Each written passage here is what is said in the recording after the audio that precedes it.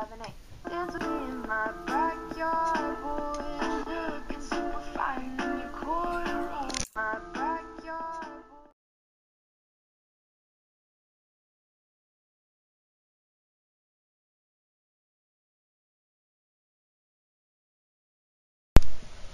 This is what they meant when they said, don't talk to strangers. In the early 1900s, a 10 year old boy was playing in the woods when a tall man appeared and asked if he wanted to come back to his cabin for dinner. Totally caught off guard, the boy reluctantly agrees and begins walking. When they get to the cabin, the boy is relieved when he sees Paul, a family friend, sitting on the porch, so the boy happily goes inside. After they eat, the boy says thank you to the strange tall man, says bye to Paul, and then he leaves. He had only walked a few steps when he sees his family, along with Paul, running up the path towards him, frantically asking if he was okay. Confused, the boy says, I'm just fine, and he looks at Paul and he's like, Why didn't you tell them I was with you at, at the cabin? And he points over his shoulder. Paul glances over the boy's shoulder and then narrows his eyes and says, You were kidnapped by a cult three days ago. No one's seen you. Terrified, the boy turns around to look at the cabin he just came from, and it's gone. All he sees is a dark forest that stretches for miles.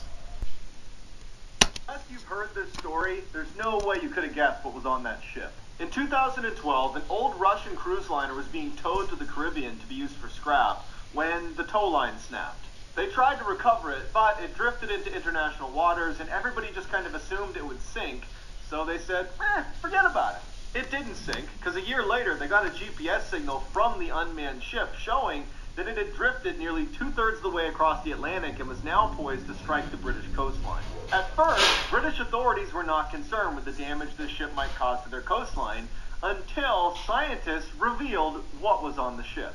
It was being towed to the Caribbean last year when it came loose during a storm. It's now feared to be infested with cannibal rats on board who, lacking a food source, have turned on each other. Cannibal rats? That's pretty shocking. But not nearly as shocking as it was for me to see 4 million on my page. Thank you. This is why This is why you should never go on a subway again. So what happened is that one night a teenage girl was taking the subway home from work back to her house in New York. The scary part is when she went on board, she sat directly across from two men with a woman sitting in the middle. The creepy part is that the woman kept staring at her and wouldn't even blink while the two men never once looked at her. Well, at the next stop, a man with a trench coat walked in, but the girl didn't pay much attention to him. The girl kept trying to look away so that one lady wouldn't stare at her, but she just kept looking, wouldn't even blink. Well, at the next stop, that random man with the trench coat pulled out the teenage girl and dragged her out of the subway. She was screaming, asking for help because she had no idea why this guy just pulled her out. But the guy told her to calm down and said he actually saved her life because the woman that was staring at her was actually dead, and the two men next to her were holding her up to make her look alive. The random guy with the trench coat said if he didn't pull her out, she was going to be their next victim. Story time on my possibly haunted apartment. So, for almost my whole life, I've lived in one apartment building, and I've lived there ever since I was two or something. Anyways, back to the story. So, this apartment used to be a hospital where many people had died. There was a graveyard behind the building at that time. Didn't bother me. It was probably because that was my childhood apartment, so I didn't really care. Our apartment was in one of the patient room patient's rooms, so it was likely someone had died there. There was a gym area downstairs that had a dark corner that I got bad vibes from. So I didn't really, really like going there. We moved about four years ago, and now that I'm older, I always feel like someone is watching me. Story time on how I discovered the whispering ghosts in our house. So before I moved to New York, I lived in Canada, and where we lived was a very small cottage. As a five year old, I had a very overactive imagination, and always used to think someone was there. So two months pass, pass by, and I started to hear whispers all around the house. First, I thought that I was just imagining things, and it was not real. Two weeks passed by, and I started to hear those whispers even more clearly. There was a man and two women. So after helping my mom with the dishes, I lay down in my bed to listen to some music and go to sleep. That's when I see my phone suddenly shutting down. I thought it had run out of battery, so I didn't mind it at all. So a few hours passed by, and I'm and I'm still awake, just reading a book. And then suddenly, out of nowhere, I hear the second lady. Like I feel her sitting beside me and talking to me in a hushed tone. My heart stops as I look around the room and the lights are out. When I wake up, I hear some light beeping nearby and soft sobbing of my mother. I try to stand up, but two people in white coats, coats me and told me to stay still. I start to panic and shout, "Mom!" I see my my mother walking towards me with a very sad face. As I ask her what happened, she tells me everything. So apparently the house we rented had operations in them and of three people who died during a terroristic attack. We had not previously known about that.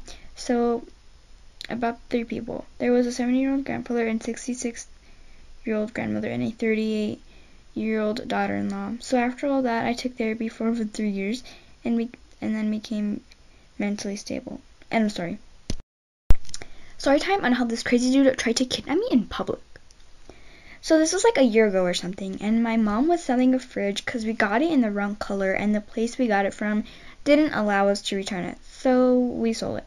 After maybe an hour, a nice lady came and she was like, "Can I have this fridge?" My mom was like, "Yes."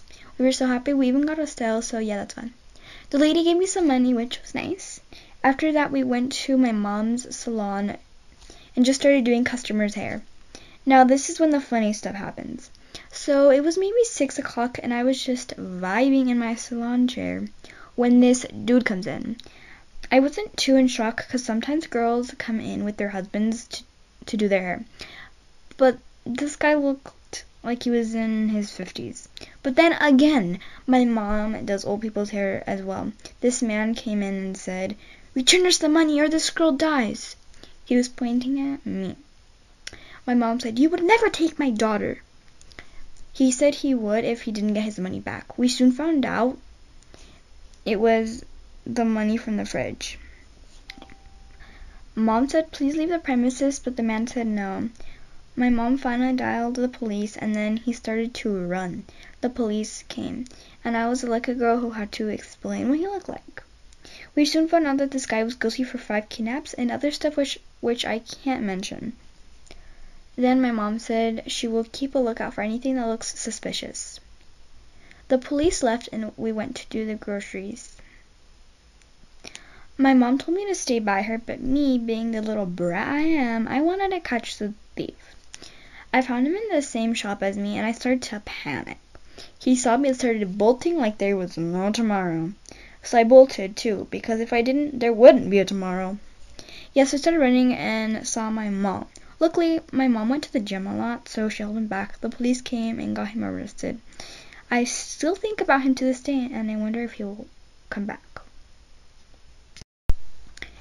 Story time. Me and my mom had an experience with a Karen, and she almost called the cops. So about a year ago, me and my mom were at a grocery store, and we had just gotten out. So my mom knew the car was parked, but there were two of the exact same cars across from each other. One was my mom's and one was Karen's. Yes, same car, model, same year, and same color. So my mom thought that Karen's car was her car, so she ever so slightly touched Karen's car with the cart. But my mom just kept walking because she thought it was her car. Then we realized it wasn't her car, and she, and she just said, "Eh, it's okay. We didn't hit it that hard." So then we just started unpacking our groceries into our trunk trunk. And then all of a sudden, this lady, aka Karen, comes barging out of her car yelling, Did you hit my car? She literally was screaming so loud I dropped the bag I was holding. So then my mom said, Oh, I'm sorry, I thought it was our car. And then she goes, No, you didn't. You did it on purpose. So she just kept going off about how my mom was such a bad person. So then I just started crying, and my mom says, Stop yelling, you're scaring my child. And then she goes into my face and yells, Well, it's not my fault, she ain't tough. So I just got into the back seat and cried for a bit more. But I could still hear her. She was yelling at my mom. So she got mad, at my mom was literally being really polite. So then she asked for my mom's insurance card, and my mom agreed, and then she goes and takes pic of her license plate. So then my mom asks for her insurance card, and Karen refuses. So she said, Okay, then you can't have mine. She said, No. Then she called her husband and says, This lady hit my car and is refusing to give me her insurance. So the husband, aka, oh, sorry, asks, Are there scratches? She says, Well, I can't see it because it is raining. I just start laughing because there's literally none. Anyways, so then she started cussing and kept going off to my mom and finally says, You're dumb bunny. Like, what the heck does that even mean? And then drives off. The end. Story time. Me and my friend, let's call her Layla. Well, Layla was my closest friend in town, and we went in the same grade, in second grade. So her and I were chilling at recess, and then she said to me, Hey, Adriana, how about we pull a prank on our teacher? So, of course, me being dumb, I said, Sure. Then she said, Okay, here's the plan. To scare our teacher at 2 a.m., okay, let's break into school and break the window to our classroom. Then, me being nervous, I said, That's really scary and dangerous, though. She didn't care though, and at the time she said she broke in and broke the windows to our classroom, and you'll never believe what she did next. When the principal found out and she asked who did it in front of her class, Layla said, Adriana did it. She told me yesterday at recess. And I was shocked. Now I know she was using me to get her in, in a safe zone and me in big trouble. So I said, She's lying. You got to believe me. My teacher said, Adriana, my last name, if you did break in, you're going to be expelled. Layla smirked and stared at me. And my whole class did too, with mad faces at me. And my class made Layla popular, so they teamed up against me. I started crying, and the principal called my parents. And when they got at the school, well, here's where things got interesting. My parents walked in the office with with me and had big smirks on their faces. I was still crying because I was really scared how my parents would react to my behavior, and you'll never guess how they did. When the principal said, Your child, Adriana, has broken into our school. Do you have any proof to deny this? My mom said, Well, we have cameras in our house to see what she's up to at night, morning, etc. And when we got on the and then when we got the call on what she did, we checked the footage and never saw her get out of bed. The principal gasped and stomped back to, up to the classroom and yelled to Layla, who was gulping hardly while looking at him. And the principal said, Layla, her last name, you lied and took advantage of everyone's trust. By now, tears were gone. My tears were gone, and I was smiling at her. She started crying because she didn't want to be expelled, and her parents got told everything. She got expelled, and if you're wondering how she broke in, well, in her parents' garage, they had a hammer, and, and her parents didn't have enough money to buy cameras, so they never knew how she got out. Well, Layla and her family moved, and I'm, um, and I don't even know what's happening to Leah. And by the way, um, how I know she had a hammer in her garage? Well, that's because I visited her, visited her house, and she gave me a painting set for my birthday, and I had to hide in, in her garage. And plus, she left evidence all over the floor. She literally had the hammer left on the floor. So yeah, I'm still hoping Layla got karma after what happened. End of story. Hello, I hope you're having a wonderful day. So, um, I like I said, um, and like kind of the middle of the video almost. Um, those stories I just heard with my voice, they're not actually mine. I got this, those stories from the comment section of this video of this um channel. I'll put the the link to the to the channel in the description with the link section. It might not work, but I'll leave the person's name in the description. Um, if you don't want me using those stories, just tell me in the comments that I'll take the video down or take your story out the video. Okay, thank you. Hello everyone, it's me. so I'm doing this thing on my channel now where like at the end of the video I'll make a little separate video like this explaining things or whatever disclaimers I need to address. So for this video I do have a few disclaimers. Um I'm so I'm super sorry if you got scared from the beginning stories. They were kind of creepy and but um yeah. So the other stories too that you heard um, me doing a voiceover of, those weren't mine either. I actually got them off this girl's ch um, YouTube channel comment section. She was playing obbies and like playing like story time TikToks. weren't hers either. But just saying, I don't know why that. Um, so and then she told her like subscribers to put theirs in the comments. so she can make a video of that, and she did, and so I got them off that too. Um, and so they were just some stories of her subscribers. If you do not want your story in my video, please comment down below or contact me, please, so that I could like edit it out if you don't want it in there, so I can edit it out and take it like within the video. Oh, yeah. Um, so yeah, um, and yeah, those stories were not mine. I got those off the comment section, the random people's stories. I don't know them. They were just there on the comment section. Anyways, um, um, I'm just quick disclaimer. I'm not gonna probably be filming makeup videos for a while because I've been dealing with issues with my skin. So, because like, so my face, uh, just my face like has been like really dry and a few days ago I noticed that I would touch it and it hurt a lot because I like to go like this a lot or just like that or I like scratch my face or whatever just just like this and that's it. Um see, like that my eye got my under eye got, got itchy but like I was scratching my forehead or like right here and it hurt so much after I touched it and I was like what's wrong? And I like told my mom and she's like oh then just don't scratch it. So, yeah, I just like tried not to scratch it, but I scratched it anyways because it was itchy, and I kept forgetting and forgetting, so it really hurt.